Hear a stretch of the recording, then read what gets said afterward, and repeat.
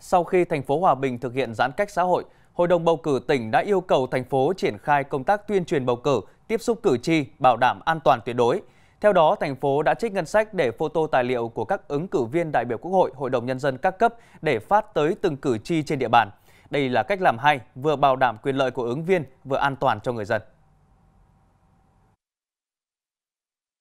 Đây là một buổi phát tiểu sử của các ứng cử viên đại biểu Quốc hội khóa 15 và Hội đồng Nhân dân các cấp nhiệm kỳ 2021-2026 của cán bộ phường Đồng Tiến, thành phố Hòa Bình.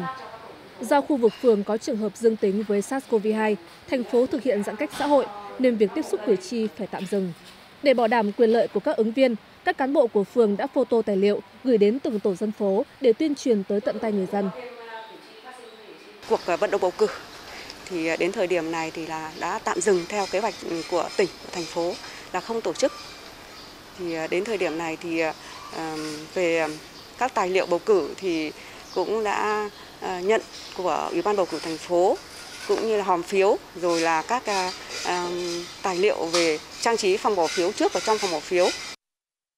Sau khi nhận tài liệu lý lịch tiểu sử của các ứng viên đại biểu Quốc hội, đại biểu Hội đồng Nhân dân các cấp, các tổ bầu cử sẽ đến từng hộ dân để tuyên truyền, giải thích cho từng cử tri nắm được thông tin về cuộc bầu cử. Biện pháp là phòng chống dịch thì chúng tôi sẽ đưa phát cho từng hộ dân những cái tờ trích ngang này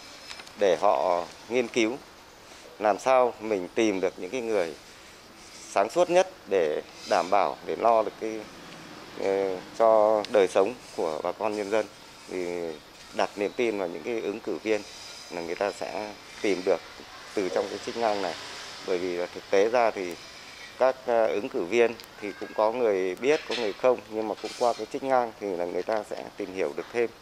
Thì họ bỏ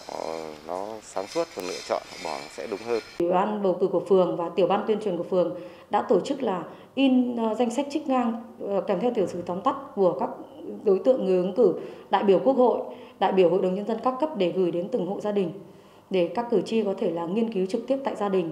bên cạnh đó thì ờ, đối với ủy ban bầu cử của phường cũng đang xây dựng kế hoạch tới đây sẽ tổ chức tuyên truyền trên hệ thống loa truyền thanh của tổ về tiểu sử của người ứng cử theo từng thời điểm thực hiện chỉ đạo của hội đồng bầu cử tỉnh Ủy ban bầu cử thành phố đã chỉ đạo các phường trên địa bàn thành phố tuyên truyền, vận động người dân không tụ tập đông người tại nơi công cộng, kể cả các địa điểm niêm yết danh sách cử tri để bảo đảm công tác phòng chống dịch. Vì vậy, việc tìm hiểu về các ứng cử viên đại biểu Quốc hội khóa 15, đại biểu Hội đồng Nhân dân các cấp nhiệm kỳ 2021-2026 sẽ gặp khó khăn. Để bảo đảm cử tri nắm được thông tin, chọn đúng người mà mình tin tưởng, hình thức phát tài liệu tới từng hộ dân vừa bảo đảm quyền lợi của các ứng viên, vừa thông tin kịp thời đến cử tri trên địa bàn khi ngày bầu cử đã cận kề.